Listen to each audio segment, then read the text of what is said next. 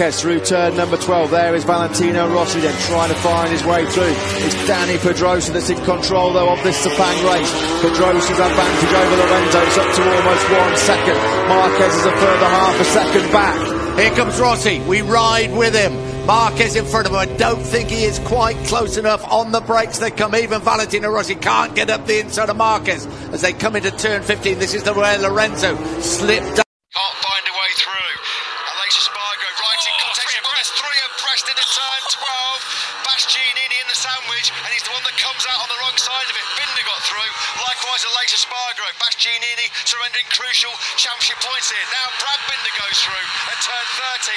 Won the last lap. Oliveira is your race leader. His advantage over the line was cut down to 2.8 seconds to Fabio Quartararo.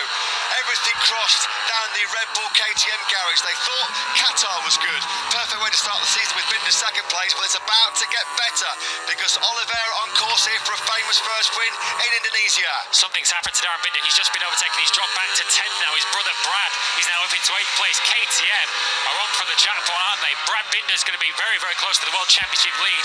And Miguel Oliveira on course for his fourth career victory in MotoGP. The podium positions look relatively set.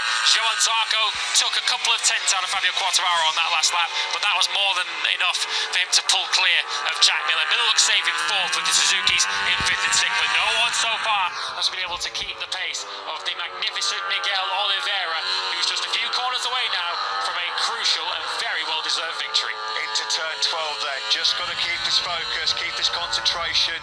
It's been a perfect Grand Prix so far for mm-hmm. Miguel Oliveira. He has not put a foot wrong. Keeps that KTM wheels in line. Zarco going in hot again into turn 13. But here we go then. Miguel Oliveira, just a couple of corners left for him 25 years. It has been well worth the wait. Fabio Quartararo is going to take second place, but through the final corner then comes Oliveira.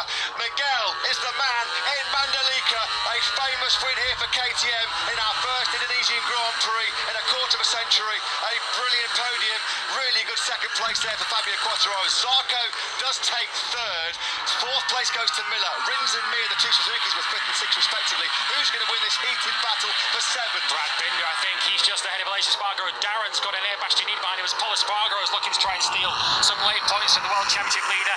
But it looks like Brad Binder who's going to take those eight World Championship points for eighth place. Marquez through turn number 12. There is Valentino Rossi then trying to find his way through. It's Dani Pedrosa that's in control though of this Sepang race. Pedrosa's advantage over Lorenzo. It's up to almost one second. Marquez is a further half a second back. Here comes Rossi. We ride with him. Marquez in front of him. I don't think he is quite close enough on the brakes. They come. Even Valentino Rossi can't get up the inside of Marquez as they come into turn 15. This is the way Lorenzo slipped.